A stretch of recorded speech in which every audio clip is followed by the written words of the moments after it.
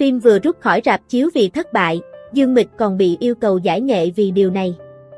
Mới đây, mạng xã hội xuất hiện một chủ đề thu hút rất nhiều sự quan tâm của cư dân mạng. Theo đó, chủ nhân bài đăng cho rằng, sự xuống dốc danh tiếng của Dương Mịch, cụ thể, kinh phí của không có chuyện gì mà một nồi lẩu giải quyết không được dao động trong khoảng 80 đến 100 triệu nhân dân tệ, bao gồm cả chi phí marketing. Vì chiếu vào dịp lễ nên phim tốn khá nhiều tiền truyền thông, chứ không chỉ rơi vào khoảng 2 hay 20 triệu nhân dân tệ như nhiều fan hay blogger dự đoán. Chính vì vậy, việc phim chỉ thu về 51 triệu nhân dân tệ trong 5 ngày chiếu lễ là một thất bại, mang lại thua lỗ lớn. Thế nhưng điều khiến khán giả khó chịu là thù lao của Dương Mịch trong không có chuyện gì mà một nồi lẩu giải quyết không được không hề thấp. Con số mà nữ minh tinh nhận được cho là tối đa 30 triệu nhân dân tệ, thấp nhất là 20 triệu nhân dân tệ, sấp xỉ 90 đến 100 tỷ đồng. Do đó, các xe của Dương Mịch chiếm 1 phần 3 tổng kinh phí phim bỏ ra, vậy nhưng phim nhận về thua lỗ, bị chỉ trích và phải rút khỏi rạp. Bên cạnh đó,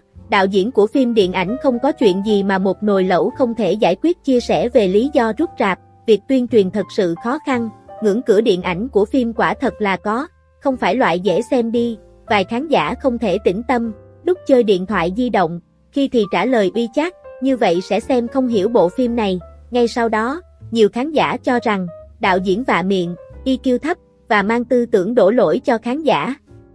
Hiện tại, Dương Mịch đang có một bộ phim chưa chiếu là Hồ Yêu Tiểu Hồng Nương phần Nguyệt Hồng Thiên, đóng cùng Cung Tuấn, dẫu vậy khi nhìn vào hai cái tên đóng chính, khán giả không khỏi lo lắng, bởi cả hai đều không được đánh giá cao về khả năng diễn xuất, nếu tác phẩm này thất bại, con đường phía trước của nàng Tiểu Hoa 85 đình đám sẽ thực sự trở nên mịt mờ.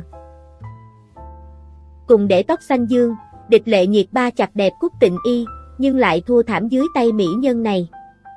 Sau thời gian dài ở ẩn, địch lệ nhiệt ba gây sốt khi tái xuất với tạo hình tóc xanh dương cá tính, diện mạo mới của mỹ nhân Tân Cương ngay lập tức được đặt lên bàn cân so sánh với dàn mỹ nhân đình đám trong giới, như Cúc Tịnh Y, Angela Baby. Thông tin mới về địch lệ nhiệt ba đang lọt tóc đầu hot quay bô bản giải trí. Sau loạt phim truyền hình được đầu tư khủng là An Lạc Truyện và Công tố Tinh Anh, địch lệ nhiệt ba lập tức bắt tay vào ghi hình cho các dự án mới. Nữ diễn viên được kỳ vọng sẽ sớm lấy lại phong độ diễn xuất, bởi các vai diễn trước đó của cô đều không gặt hái được thành công như kỳ vọng. Ngoài công việc đóng phim, Địch Lệ Nhiệt Ba còn tham gia nhiều chương trình truyền hình ăn khách. Ngày 6 tháng 5, Địch Lệ Nhiệt Ba chiếm spotlight truyền thông khi lộ diện với kiểu tóc màu xanh dương. Đây là tạo hình mới của người đẹp Tân Cương trong show bắt đầu suy luận nào. Màu tóc mới được khen hợp với Địch Lệ Nhiệt Ba, làm tôn lên nước da trắng sáng của cô nàng. Ngoài ra, sao nữ ngự giao ký còn kết hợp thêm nhiều phụ kiện độc đáo, giúp tổng thể thêm phần cá tính.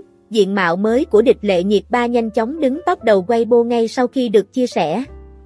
Bên cạnh đó, địch lệ nhiệt ba cũng được đặt lên bàn cân so sánh với Angela Baby, Cúc Tịnh Y hay Dương Siêu Việt. Đây đều là những mỹ nhân trung từng là huyền thoại nhan sắc khi để tóc xanh dương. Theo đó, dù bắt trend khá muộn, nhưng địch lệ nhiệt ba vẫn được khen xuất sắc không thua kém đồng nghiệp. Tuy nhiên, một số ý kiến cho rằng, địch lệ nhiệt ba xinh thật, nhưng vẫn chưa vượt nổi Angela Baby khi cùng để tóc xanh dương. Chị gái Bạch Lộc gây sốt khi diện váy cưới, nhan sắc bỏ xa nàng gà cưng vu chính. Mới đây, dự án cổ trang có hơn 14 triệu lượt đặt xem trước đã chính thức công bố lịch chiếu. Bộ phim Khánh Dư Niên 2 do Trương Nhược Quân và Lý Thấm đóng chính, sẽ được chiếu vào khung giờ vàng trên CCTV 8 từ ngày 16 tháng 5 tới đây. Khán giả đang vô cùng mong đợi thành tích phát sóng của dự án cổ trang này. Để hâm nóng phim trước thềm lên sóng, mới đây phía đoàn làm phim đã đăng tải đoạn video cảnh cưới của nam nữ chính Phạm Nhàn và Lâm Viễn Nhi, tạo hình cưới của cặp đôi chính Khánh Dư Niên 2, nhanh chóng nhận được vô số lời khen ngợi, nhiều khán giả cho rằng, đây là tín hiệu tốt cho thấy phim sẽ có cái kết hạnh phúc. Tạo hình cưới của Lý Thấm trong Thánh Dư Niên 2 được đánh giá rất cao, mũ đầu lộng lẫy, giúp làm tôn lên nhan sắc xinh đẹp, dịu dàng của cô nàng, không thể phủ nhận được rằng, chị gái Bạch Lộc sở hữu nhan sắc cực kỳ ấn tượng và có thể cân được nhiều kiểu tạo hình dù khó nhằn. Dân tình nhận xét rằng, tạo hình hỷ phục của Lý Thấm ở Khánh Dư Niên 2 hoàn toàn áp đảo Bạch Lộc.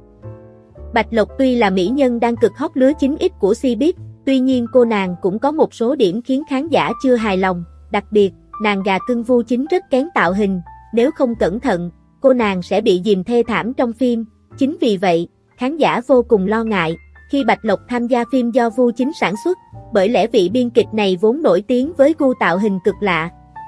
Quay trở lại với dự án cổ trang này, ngoài tạo hình đẹp, ánh mắt của cả hai dành cho nhau cũng nhận về nhiều lời khen, cùng là diễn viên thuộc phái thực lực, không khó để Trương Nhược Quân và Lý Thấm diễn tả ánh mắt hạnh phúc của cặp đôi trong ngày tân hôn. Bên cạnh đó, cảnh khóa môi của cặp đôi cũng đang trở thành chủ đề bàn luận trên mạng xã hội Weibo vì cực tình. Được ra mắt vào cuối năm 2019, Khánh Dư Niên là một trong những tác phẩm cổ trang đình đám thời điểm đó, lên sóng đầu tiên vào ngày 26 tháng 11 năm 2019. Bộ phim đã có điểm đu ban với con số ấn tượng là 7.8, chỉ sau 2 ngày lên sóng, con số đã tăng lên 8.0 điểm, với hơn 19.000 lượt vốt, tỷ lệ hầu hết là 4 sao và 5 sao. Đặc biệt ở tập phát sóng 7 đến 11 của bộ phim, Tencent đã bị sập bếp vì lượng truy cập quá nhiều. Chính sức hút này, mà ngay khi Khánh Dư Niên hai khởi động, cư dân mạng đã vô cùng trông ngóng sự tái hợp của bộ đôi chính là Lý Thấm và Trương Nhược Quân. Dự án này được chuyển thể từ tiểu thuyết cùng tên của Miêu Nị,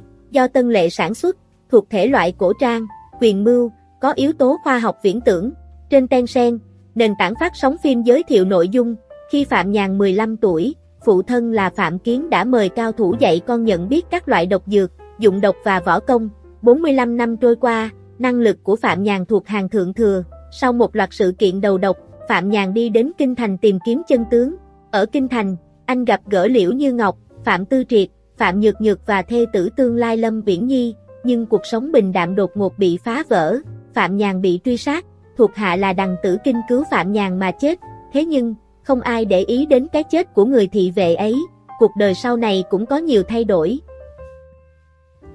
Triệu Lệ Dĩnh và Phùng Thiệu Phong có tin vui lớn, cộng đồng mạng bùng nổ. Tính từ lúc xuất đạo tới nay, Triệu Lệ Dĩnh cho ra mắt không ít các tác phẩm hấp dẫn, khiến màn ảnh nhỏ trao đảo cũng như nhận được sự ủng hộ của đông đảo dân tình như Sam Sam đến rồi, Hoa Thiên Cốt, Sở Kiều Truyện, bên cạnh đó, không thể không nhắc đến siêu phẩm tầm cỡ quốc dân, Minh Lan Truyện, phim đã lên sóng từ 2018, nhưng cho tới lúc này, sự quan tâm mà khán giả dành cho phim vẫn vô cùng đáng kinh ngạc, mặc dù đã có 6 năm tuổi đời, màn ảnh hoa ngữ cũng cho ra lò vô số các dự án hấp dẫn, bạo khoản, nhưng Minh Lan truyện của Triệu Lệ Dĩnh và Phùng Thiệu Phong vẫn chiếm một vị trí nhất định trong lòng khán giả, được lựa chọn xem đi xem lại nhiều lần. Theo thông tin mới nhất, tính đến tháng 4 năm 2024, Minh Lan truyện đã tích lũy được hơn 23,9 tỷ lượt xem trên nền tảng Vân Hợp, đứng top một bảng xếp hạng lượt xem tích lũy các bộ phim từ năm 2018 đến 2024, đồng thời, dự án đánh dấu màn hợp tác giữa Triệu Lệ Dĩnh và Phùng Thiệu Phong, cũng được ghi nhận là bộ phim duy nhất vượt mốc 20 tỷ view trong 6 năm qua. Minh Lan truyện chuyển thể từ tiểu thuyết thật ư thật ư, phải là hồng phai xanh thắm, của tác giả quan tâm tác loạn, thuộc thể loại cổ trang, gia đấu, nội dung chính xoay quanh nữ chính Thịnh Minh Lan do Triệu Lệ Dĩnh thủ vai, một người phụ nữ thông minh tài giỏi, nhưng phải che giấu tài năng vì là con vợ lẽ. Sau khi gặp gỡ và gả cho Cố Đình Diệp, do Phùng Thiệu Phong đóng, Minh Lan đã dựa vào tài trí hơn người mà giải quyết dễ dàng mọi vấn đề phát sinh ở cố gia, cùng chồng gây dựng sự nghiệp. Minh Lan truyện không chỉ là tác phẩm tiêu biểu trong sự nghiệp diễn xuất của Triệu Lệ Dĩnh, mà còn là bộ phim đã xe duyên cho Triệu Lệ Dĩnh và Phùng Thiệu Phong ở ngoài đời thực. Cuộc hôn nhân của hai người thời điểm đó, từng khiến báo chí tốn không ít giấy mực, chỉ tiếc rằng, ngày vui ngắn chẳng tày gan, trong khi công chúng đang háo hức, mong chờ cuộc hôn nhân thế kỷ, thì Triệu Lệ Dĩnh và Phùng Thiệu Phong bất ngờ thông báo ly hôn, quyền nuôi con thuộc về sao nam họ Phùng. Đã nhiều năm trôi qua, dân tình vẫn không lý giải nổi, nguyên nhân vì sao mối quan hệ của hai ngôi sao lại tan vỡ một cách chóng vánh như vậy. Sao nữ chính ít sở hữu nhan sắc như thần tiên tỷ tỷ, đỉnh thế nào mà được gọi là bản sao của Lưu Diệt Phi.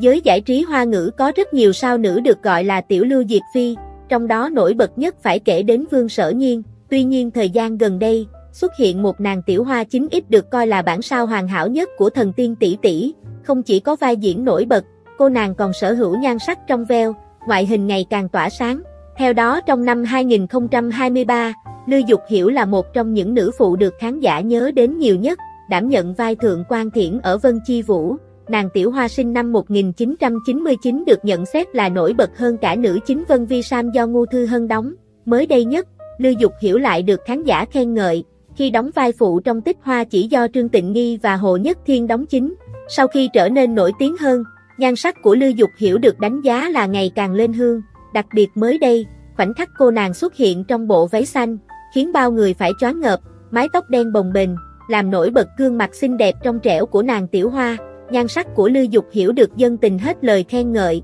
có nhiều ý kiến cho rằng, Lưu Dục Hiểu ngày càng xứng danh Tiểu Lưu Diệt Phi với nhan sắc xinh đẹp, sau thành công của Vân Chi Vũ, cô nàng được Vu Chính chọn thành nàng thơ mới đảm nhận vai chính trong ngũ phúc lâm môn. Vai nữ chính của Lưu Dục Hiểu đã khiến khán giả cực kỳ mong đợi, không chỉ có nhan sắc xinh đẹp, Lưu Dục Hiểu còn được nhận được nhiều lời khen ngợi về diễn xuất tốt.